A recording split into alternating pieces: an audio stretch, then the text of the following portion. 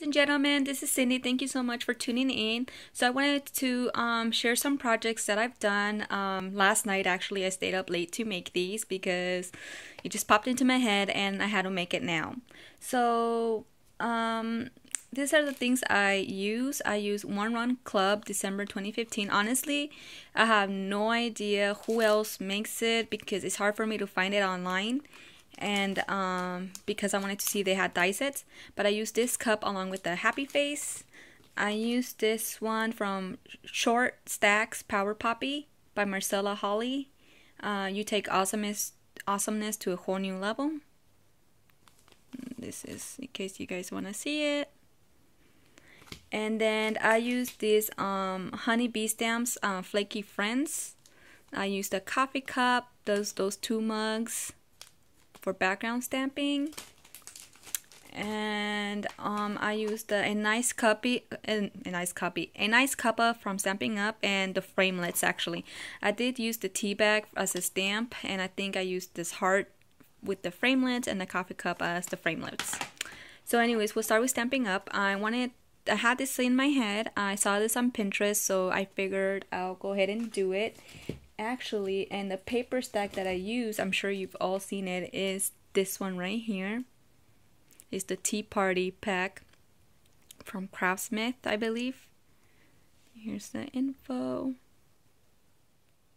it's really cute so that's what I use here and I use a random um, glitter paper um, that I had here that I purchased from Michaels a long time ago. It was like $1.99 I believe. I didn't even measure the ends. I just went ahead and cut the two strips I use some vellum to stamp You Are Terrific with my Memento black ink, but I figured I'm gonna do it again because it kind of looks mudgy, it's a little blurry and I don't like it. And I know I stamped it wrong somehow, so I'm gonna have to redo that. And I just used two little pearls on the end. And I use some little twine here to hold it, which if you do decide to make something like this similar, make sure you stack up the, uh, put this little tea bag on a 3D sticker. I don't know how to say it now. Foam tape because you don't want it to look bumpy like mine did. So I'll just leave mine like that. So because it looks cute like that anyways. So then because my coworkers are doing such a good job with their sales, I wanted to make them um, a thank you card, um, like a little gift card tag. And I went ahead and made this one first and I embossed the background with um, white embossing powder. And these are the stamps that I use from um, Flaky Friends Honey Bee stamps. And then I use the um, One Run Club coffee cup. And I just colored it with my Spectrum Noir. Like really randomly. And I cut it out really quickly. So that was really easy to make.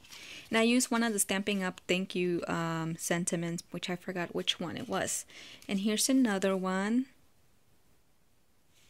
And then on this one, because it's already finished, I stamped the inside that says you take awesomeness to a whole new level. And then on the envelope, I used the We Are Memory Keepers to make my little envelope. And I just um, quickly uh, run it through my Big Shot with the thank you die. And actually I use my new Ranger adhesives. Sorry, I have to get it. Adhesive sheets. And at first I was confused because I didn't know how to use it. But then I finally figured out. Honestly, I don't know why. Maybe because it was like 1 a.m., 2 a.m. I couldn't figure out those stickers. I thought I had messed up. And then finally I got it. And um, I was right the first time. I have no idea what happened. But these are the little note cards that I'm gonna give to my coworkers, and I might give this one to my boss just because um uh, just as a thank you for allowing me to do that for my coworkers, uh, just to and, and small incentives, I guess. Um, I don't know, just to show that I care, I guess. But um, yeah, uh, thank you so much for watching. I really hope you like this um, ideas. And if you have any questions, please let me know and have a nice day. Bye bye.